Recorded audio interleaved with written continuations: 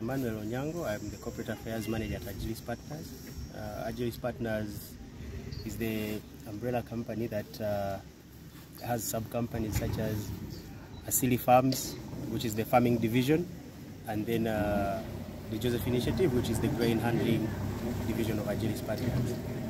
Uh, we've been in operation in Uganda since 2013, and uh, uh, we have we, we have operations different districts. We have operations in Amuru, uh, in Kiryandongo, and in Masindi. Then we have a processing facility in uh, Kasese.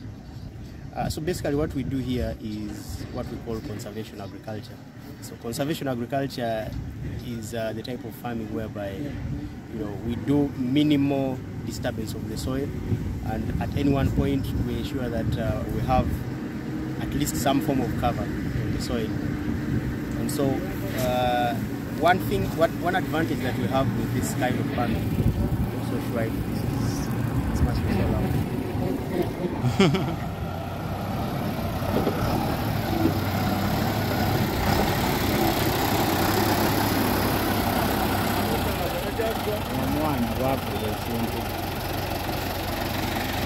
We do minimum tillage and also we ensure that uh, at any one point we maintain enough uh, soil cover as possible.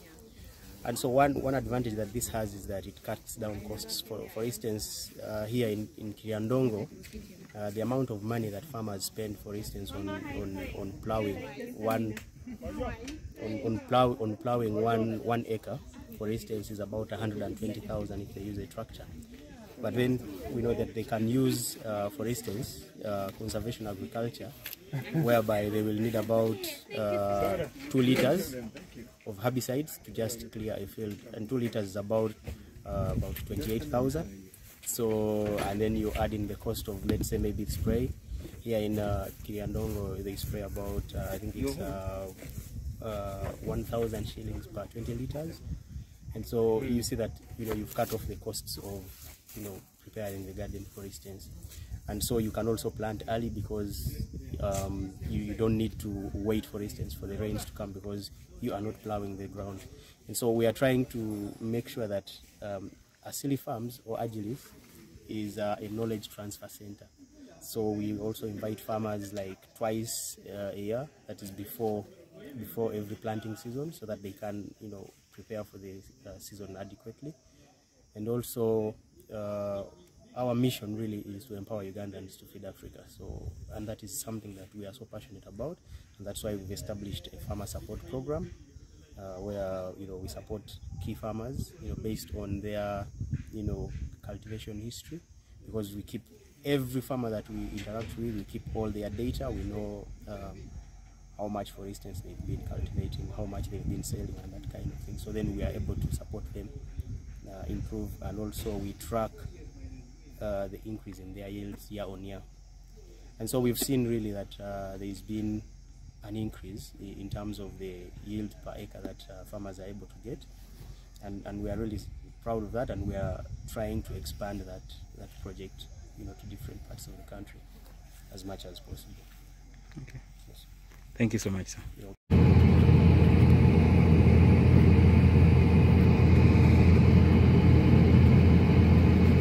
So wh- where did you learn driving this tractor? Huh? Where did you learn from? Uh, Kenya. Kenya. Yeah. Uh, for how long? ah, muda kidogo tu unafanya kama tanima. Okay. alafu unajifunza ukiwa tanima. Okay. Wow. So um, how many acres can you plant in a day using this machine? Uh, 80, 80 acres. 80, 80 hectares. 80 hectares. Hectares. Wow. Yeah. And uh, how did you learn to use uh, the GPS? And how useful is the GPS? yeah? How useful is the GPS? GPS. Yeah. GPS unatumia hii, Okay. kama umenyika hii Yeah. yana kamata peke yake Okay. Line. Yes. Mm. Wow. So, ladies and gentlemen, I'm uh, in this uh, machine. Uh, this is a combine harvester. It is uh, GPS enabled, so it's a precision combine harvester. And um, these are new machines here in Uganda, but uh, we are trying to expose uh, teachers, students, and everyone uh, to such machines because we believe when teachers are exposed to such initiatives, consider is a friend teacher outside there, they get to teach uh, their lessons relating them to agriculture. So this uh, machine here uh, has a lot of mathematics, has a lot of physics, geography, and so many other subjects. So um, this is a, a combined harvester. We don't have so many here in Uganda, but we are using uh, whatever is available to do the right training. So yes, so thank you Muzei for the lesson.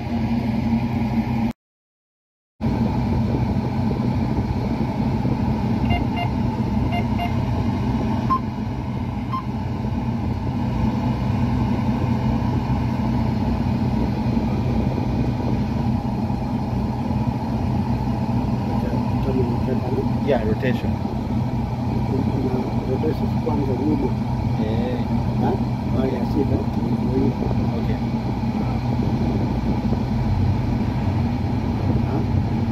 Halafu na kuja mbele aweka huko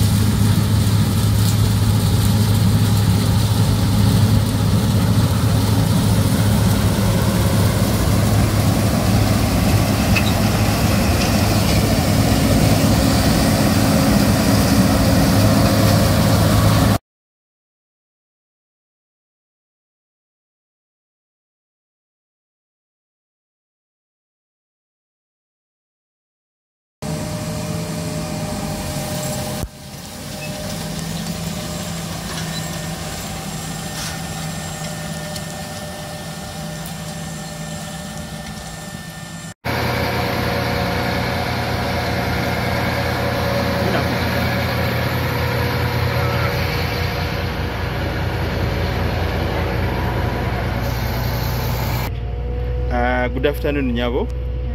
Uh, what is your name? Okay, um, I'm seeing you driving this uh, tractor. Uh, how did you learn and where did you learn this tractor from? Learn it from the school. From the the school? training center. Whi- Which training school specifically? A center. Okay.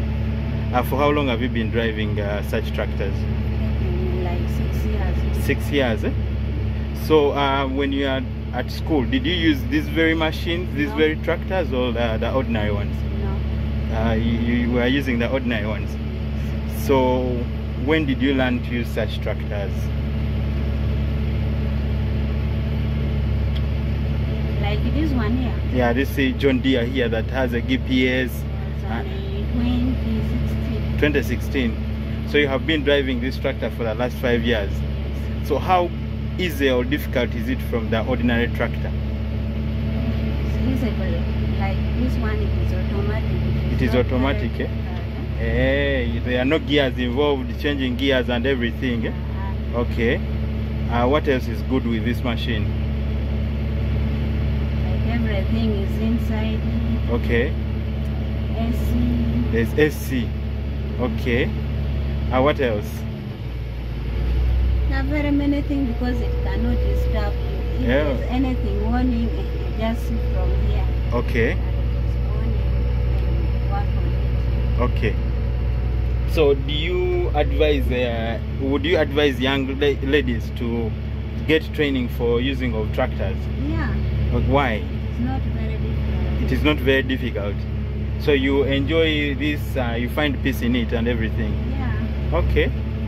Uh, thank you so much, Nyabo, for giving us your time. I can now jump off.